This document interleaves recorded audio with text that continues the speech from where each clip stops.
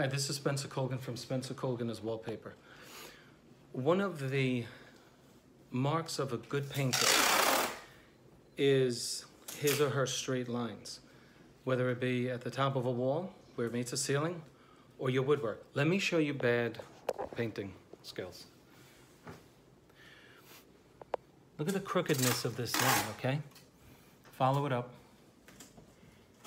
I'm telling you, I'm in construction now for since actively since 2002.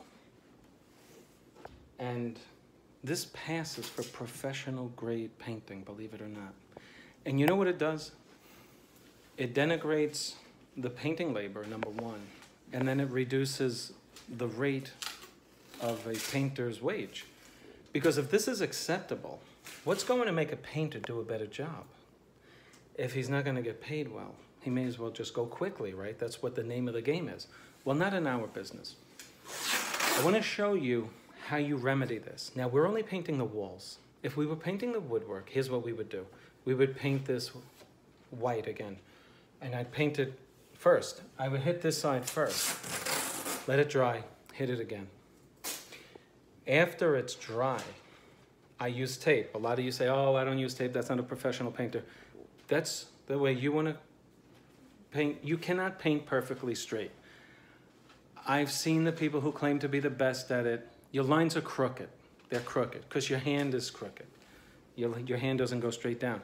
This is the way to achieve a straight line. But how do you remedy the crooked wall paint on it, right? Is that going to alter the crookedness of the wall paint? No. So here's what you do. You're going to create an illusion. So where the wall paint comes onto the woodwork, as is the case right here where my finger is showing, you see how the wall paint comes right up onto the woodwork? What you're going to do is put the tape on the woodwork side of that. And that's going to be the, the, uh, the guide. That's going to be the plumb line. That's where it's going to start. Because if you start against the wall, you'll have a nice straight wall line, and after you take it off, you're gonna have the old paint on the woodwork, right? So you're gonna take your tape and put it just outside of your crooked line. So in order to do that, you have to go up the entire length of the woodwork and find out what is the greatest deviation onto your woodwork which is the worst mess up. And then, unless it's all the way onto the woodwork, you put your tape line to the left of the mess up and simply bring your new wall paint all the way up. And although you will be painting wall paint onto your woodwork, the eye will not catch it because you're going to make a straight line. If you leave it like this, not only will you notice the crooked lines, but you'll see that they painted your wall paint and you'll know that it's on the woodwork. At least with this way, you'll straighten out all the lines. And this is what we're doing right now.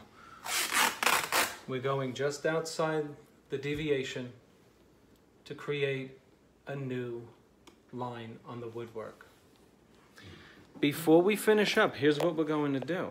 Now, a lot of you are arguing with me on YouTube about this. So-called pros who have been doing it for years who don't do this. I'm going to take clear caulking. Do you trust this tape that there will be no bleeding underneath it? Do you trust it? Do you know how perfect this has to be against the woodwork in order for new paint not to get under it? it has to be pretty perfect. What I want to do is just simply run a bead of clear caulking and why clear? Because it's not going to dry white, and then you'll see white caulking against your blue wall or your green wall, whatever the color is. It'll dry the color of your new paint. I'm going to clog the imperfect adhesion of this tape, if there be any. And then I'm going to bring my new paint color down there.